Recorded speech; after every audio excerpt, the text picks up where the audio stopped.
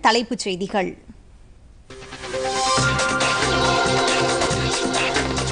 தமிழகத்தில் நான்காயிரத்து நானூற்று எண்பத்தாறு கோடி ரூபாய் மதிப்பிலான புதிய திட்டப்பணிகள் நாளை சென்னையில் தொடங்கி வைக்கிறார் பிரதமர் Narendra Modi.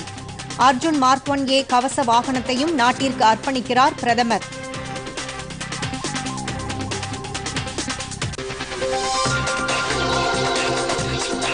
கேரள மாநிலம் கொச்சியில் சுமார் ஆறாயிரம் கோடி ரூபாய் மதிப்பிலான திட்டப் பணிகளையும் நாளை மாலை தொடங்கி வைக்கிறார் பிரதமர்.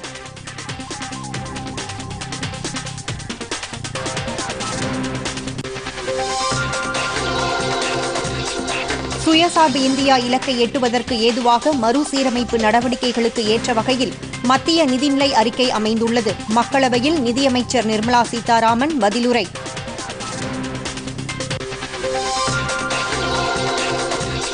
தமிழகம் உள்ளிட்ட மாநிலங்களுக்கு கூடுதலாக மூவாயிரத்து நூற்று பதிமூன்று கோடி ரூபாய் வெள்ள நிவாரண நிதி.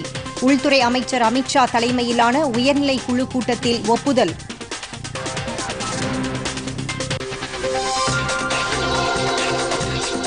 கீழடியில் ஏழாம் கட்ட அகழாய்வு பணிகள் முதலமைச்சர் எடப்பாடி பழனிசாமி தொடங்கி வைத்தார். தலைமைச் செயலகத்தில் பயிர்க்கடன் தள்ளுபடிக்கான சான்றிதழ்களை விவசாயிகளுக்கு வழங்கினார் முதலமைச்சர்.